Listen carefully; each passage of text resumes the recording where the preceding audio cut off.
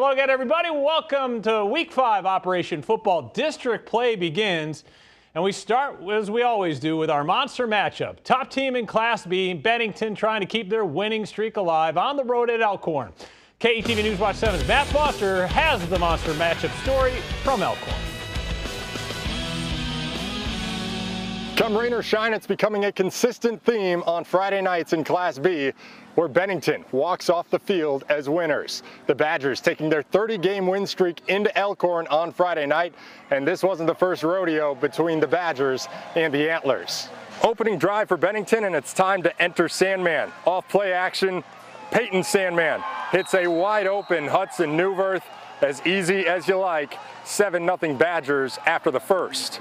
In the second quarter, second drive of the game for Bennington. This time, Sandman to hook up with Elliot Anderson, who just gets a foot in bounds, and that'll count in high school for six. 14 0 Bennington.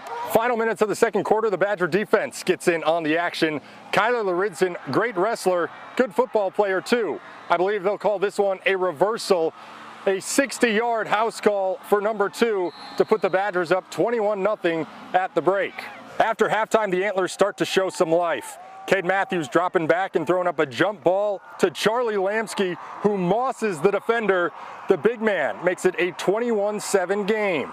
But that's as close as Elkhorn would get. Final minutes of the fourth quarter. The end around to KJ Tafa, and watch this, the exclamation point on the touchdown. Badgers go on to win it 28 to 7. We, we have fun at practice. We have fun all the time. We, we all lift each other up, no bring each other down. We're, we're just a tight group. Defensively, uh, like I said, they're going to stay hungry and they're going to they're going to do what they need to do. It's just week in and week out. We got to rise uh, and show up that we're the best team on on Friday night. With the win, Bennington improves to 5 0 this season, and their win streak grows to 31 games, just seven away from tying the Class B record.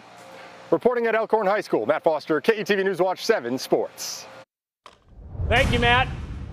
Westview back at home, taking on Elkhorn North. Wolves quarterback Johnny Ferguson calling his own number, touchdown. Four yards out, 21 0 Wolves in the second quarter. Then it's Ethan Beachy to Tommy Mechna, 46 yards. Elkhorn North goes on to win big, 42 0 Wolves 5 0.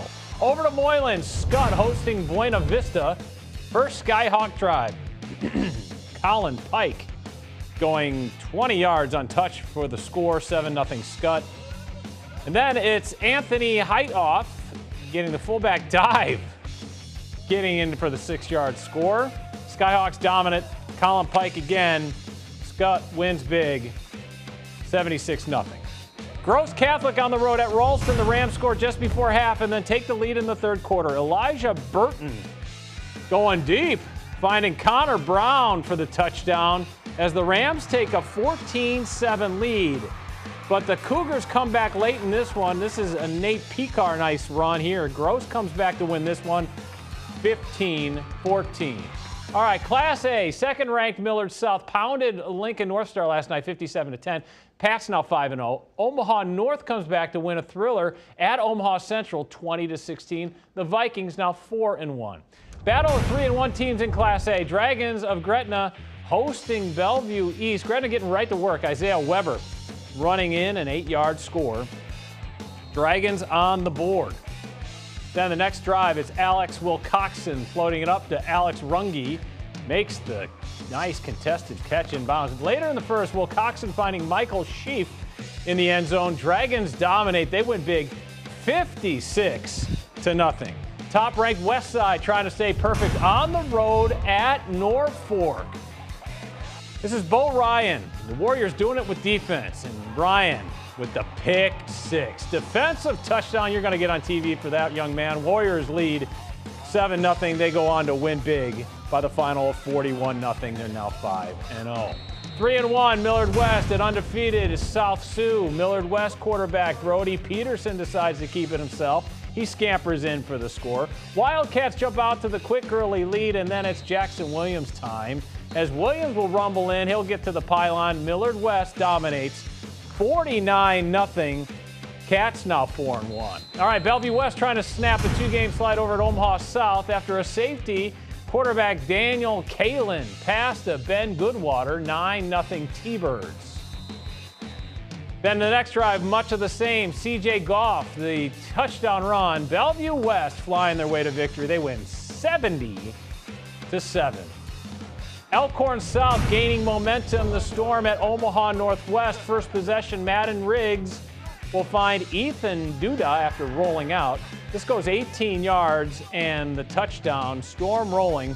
Next possession, it's Riggs again on the rollout. This time I'll find Luke Hoskinson all alone, 38 yards. Elkhorn South wins big. That's three in a row for the Storm. Over in Papillion, where the crown shines bright, as the sign says. Monarchs hosting Benson. Doesn't take long for the home team to strike. Travis Hines the second. Look at him go. Takes it to the house. And just like that, Papio's up a touchdown. Then it's Peyton Prestito. Peyton, by the way, spelled P A Y T O N, like Walter, and he runs it in. This one got out of hand early. Papio goes on to win 54 0. Millard North looking for its first win of the season against Lincoln Southeast, tied at seven in the second. Caden Vermas takes the pitch, finds an opening, and scores 14 7. Next drive, it's Evan Hansen rolling out. He'll find a wide open Vermas, second touchdown of the game. Millard North. They get their first win of the year, 49 28, the final. How about that? All right, halftime here on Operation Football. Next up, our fan favorite game Wahoo Neumann hosting Yutan. But first, to send us to break, here are the Ralston cheerleaders.